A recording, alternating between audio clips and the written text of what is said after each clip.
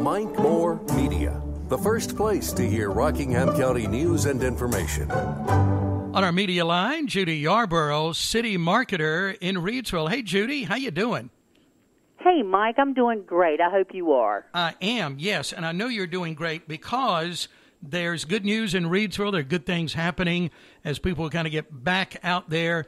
But uh, let's jump right in with some of the events coming up, uh, especially Lake Reidsville tomorrow. It, the skies light up tomorrow night. They do light up tomorrow night, and we're very excited. You know, last year we were one of the only cities around that even had fireworks when we did them at J.C. Park, and um, you know we had everybody set around the park, you know, outside the gate. Yeah. Um, and so we are so excited to get this event back with people um, out at Lake Reidsville. It's one of the you know one of the premier events that we do every year, and um, we get a lot of people out there, anywhere from seven to ten thousand people. So um, it's a lot of fun, and we're excited about it tomorrow. Um, so the gates open at 5 Mm-hmm. The um, prices have not changed. It's five dollars a car and two dollars a person if you walk in.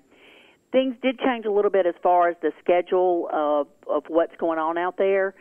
There will not be any rides this year for the kids, sadly. But the company that we had been working with was no longer um, in business, and I, I think we found that you know a lot of businesses had to shut down during COVID. Yeah, so yeah. um, so we we haven't got the rides out there, but we got lots of great stuff. So Quentin uh, Robertson has really done a great job getting all this together.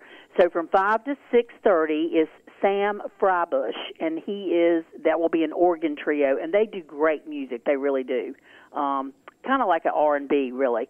And then from five to nine, there's going to be roving performers out there. So they're going to have the stilt walkers. Um, they're going to have a magician. Um, the magician is performing between six thirty and seven. And then the main headline band is called Something for the People, and it is a, an R&B band. They're really good. They're out of Greensboro. From nine to ten, they got a DJ mix that'll be playing music, and then at nine o'clock, there's going to be um, an LED light show, and that's going to be really cool. Missy did one of those down at Market Square one year, and that was just a really cool event. It's amazing what they can do with those lights. Oh, wow. Um, then at 9:30 there'll be a fire show. So there'll be performers performers performing with fire, you know, like with the loops and all that stuff. And then uh, the fireworks kick off at 10. I tell you, th- this is a this is a big day, and it always is a lot of fun. And Lake Reidsville has that has the best around when it comes to Independence Day celebration. It does, and you know, it is one of those things that what could be prettier than the fireworks over the lake? It's just a beautiful event. It really is. Yeah. Okay. Everything's starting tomorrow at five o'clock. All righty, we'll be there. That's right. Good. Right, and I will say there will be food vendors out there, um, so and other kind of vendors as well. Okay. And I know you've got some things coming up for the kids you want to talk about too. We do. You know, so City Council has been working hard on getting a splash pad here in Reidsville, and and that is coming to fruition. Unfortunately, it's not going to be, um, you know, ready to rock and roll this summer. So it will be by next summer, but not this summer. So they said, you know, we need to do something for the kids, and so the fire department, along with the police department and Parks and Rec, are going to be opening up fire hydrants. How much fun is that? You know, how know. many years has it been since you did that? Sure. Oh, that's great. We you know when i was a little girl over in greensboro they would do that in our community every once in a while and that was so much fun. It's so hot this summer and it's just a great way for the kids to come out have a little bit of fun and get wet. Mm-hmm. um, so we're calling it water wednesdays and they're going to be starting next wednesday july 7th and it's going to be taking place at the reidsville housing authority. There'll be free ice pops for the kids and it goes from 1 o'clock to 2.30 um, they will be skipping the following week, which would be July 14th. They had a conflict there. But then they pick back up again on July 21st at Crestwood Apartments, the 28th at Griggs Park, August 4th at Cambridge Park, and August 11th at Cortland Park. And of course, that's free, and it's just a great way, like I said, for the kids to come out and get cooled off. Mm-hmm. Yeah. Kids only. That sounds kind of something I might want to get in on. Well, I don't know. You know, our city manager, Summer Woodard, has said she might go join him one day. Yeah. Okay. Well, that might be a good way for us to meet. So yeah, we'll make a date. yeah, you know, it gets awfully hot here, so Oh, that's great. So uh, Water Wednesdays starting next week. that's right. Okay. that's right. Terrific. You know, of course, we got a lot of great things going on downtown, and we've got some things happening behind the scenes that, you know, unfortunately we can't be talking about yet, but we are super stoked about some things that could be coming downtown. So, but I will say, Jill has got her second downtown Friday.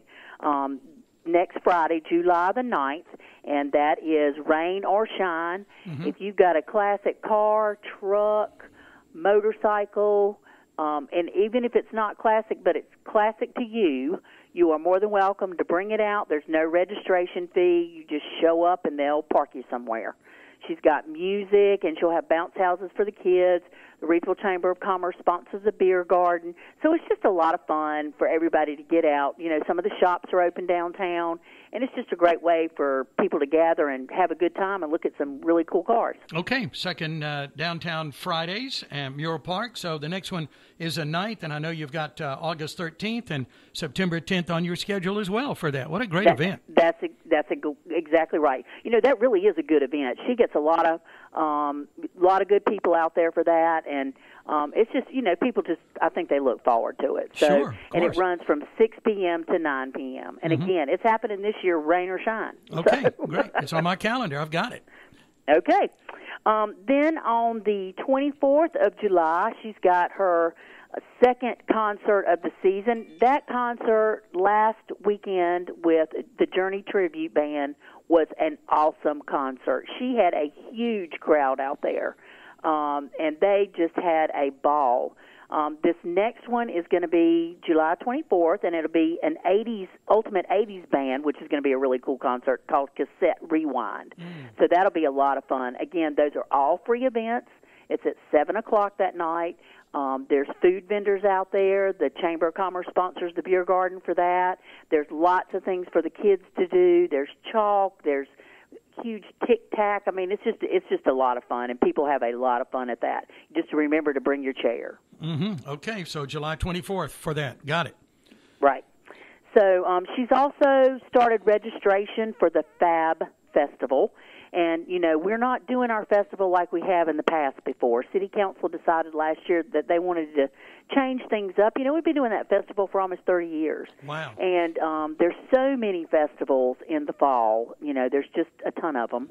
And we just we we've decided to change things up some. So her festival in October is called the Fab Festival, which is food, art, and brew. Mm-hmm. And um, she's rounding up those vendors now. She is looking for art vendors. Um, she wants, you know, the high end art.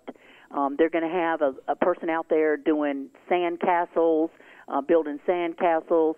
She wants interactive. Mm-hmm. So um, she's recruiting vendors for that now, and then you know, of course, she'll have the food trucks out there. She's recruiting those as well, and the brewery. So it, I think that's going to be a lot of fun. I know it's going to be a lot of difference than what we have done in the past, but keep in mind we we've got other things in mind for May of 2022. And so that's when we'll be doing a really bigger festival, and that's going to be out at Lake Reidsville. Mm, wow. Okay. And I, I, love the name. I love the Fab name on that. I know Fab Festival. That's a great name, and it is perfect. So yeah. yeah. Okay. Very good. And that's that'll be a lot. That'll be a lot of fun. Mm-hmm. So um, so the other thing I wanted to share with um, folks, is we got some really good news this week. I'm getting ready to do a press release on it today. We had to confirm everything, but Smart Asset, which is a finance, uh, personal finance company, um, looks at you know your finances and retiring and all that stuff. And they did their figures this year for North Carolina and the top ten cities to retire in North Carolina and it's based on tax friendliness as quality of life issues. Sure. You know how much uh, recreation there is, your uh, medical centers, and all kinds of things. And um, Reidsville ranked in the top ten, so we were stoked about that. That oh, is just yeah. a really great thing. Congratulations on that. You know, and I remember uh, through the years. Uh, always good news about uh, Reidsville as a wonderful retirement community. It, it truly is. You know, we we have been part of the North Carolina Certified Retirement Community for five years. There are like 18 cities in the state of North Carolina that are part of that program, and it's a program you not everybody can join it. I mean, it's a rigorous process to get in. You have to fill out an application. You have to have certain criteria within your community to even be in the program. And part of that is health care, access to recreation, um, access to a metro, and it's really designed for smaller communities. And so we have been in that program for five years. We're getting ready to renew in this upcoming year in 2022. Uh, mm-hmm. And so it is, um, it's been very beneficial for us. It truly has. We have really been able to get Reidsville's name out there nationally and we have really been able to recruit a lot of people to move to our area. And when we say these folks are retirees, I want everybody to keep in mind these are folks that are retiring that are starting second careers, yeah. they're opening businesses, um, they're mentoring, they're volunteering in your community. You know, they're truly an asset for your community. You know, it's exciting when, when we hear these stories, and you you and I have talked about them before. People coming into the area, and, and even people that have uh, been here for many years. Uh, retirement is not, uh, not not our our father's retirement, is it? Oh Lord, no. No, no. People are so like active. that anymore. It, yeah. it truly is not. It's uh, these people are very active. You know, well, you know, I look at how old I am, and I think, you know, um, you know, I don't, I don't know that my mom had as much energy as I do at at the age I am. Mm-hmm. So sure. I think our whole dynamics have changed. So, yeah. you know, what is it they say? The uh, 50 is the new 40 or something like that. Mm-hmm. So, you know, it's, uh, you know, I think people have taken care of their health and their, um, you know, they think more about retirement and, you know, starting another chapter to their life. Sure. It's, it's not, I don't think they look at it anymore as that's the end of my career. It's all downhill from here. I think they look at it as it's the end of my professional career, and now I'm going to start a new one. I, so, I, I like yeah. the way you said just another chapter, another another another part of your life. And uh, oh, that's wonderful. Yeah. Well, congratulations exactly. again on that, and and to newcomers uh, to the area, welcome. We're glad you're here. We certainly are. Yeah.